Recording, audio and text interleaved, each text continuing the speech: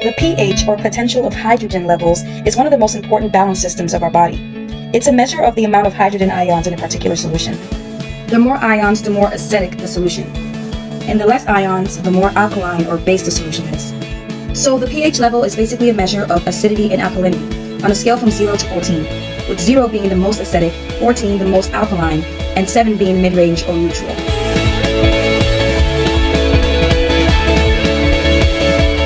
Big deal. The higher the pH, the higher the H3O plus or protonized water will be. While moving up one pH level to the next simply just looks like a one unit change, it's actually a 10 times difference. So starting from neutral, of course, any single movement towards the acidic side will increase in H3O levels by 10 times.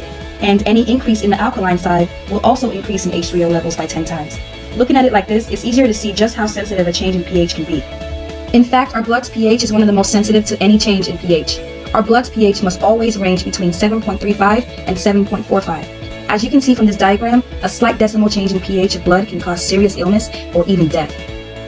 This is a true balancing act. Acidity and alkalinity are complete opposites and neutral is neither acid or alkaline. Mixing an acidic substance like vinegar with a pH of 2 to an alkaline substance like baking soda with a pH of 9 will cause a chemical reaction. The two will eat away at each other and will create a new substance with a completely different chemistry.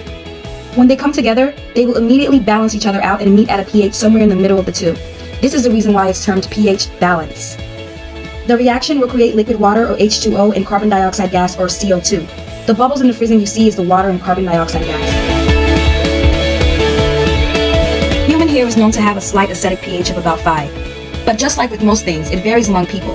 Some individuals' hair, or better said sebum, have been shown to have a pH of about 3, while others can have a pH all the way up to 6.6.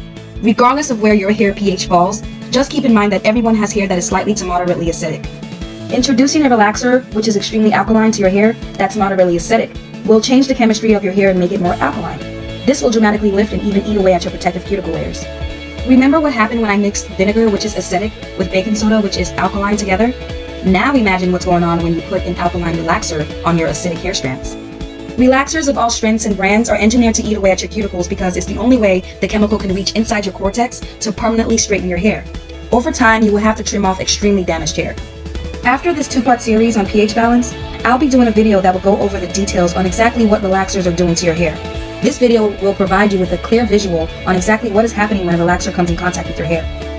When many of us hear the word acidic, we envision a chemical eaten away through something. It sounds a bit scary and like something you want to stay away from. While any extreme in both directions is very harmful and dangerous for your hair, any alkaline pH or what I like to call pH swings are what we really need to be more educated about when it comes to hair care. Stay tuned for part two of this two-part series on pH balance, where I will go over why you should care and specifically what this all means to your regimen and your day-to-day -day activities with your hair. As always, thanks for watching.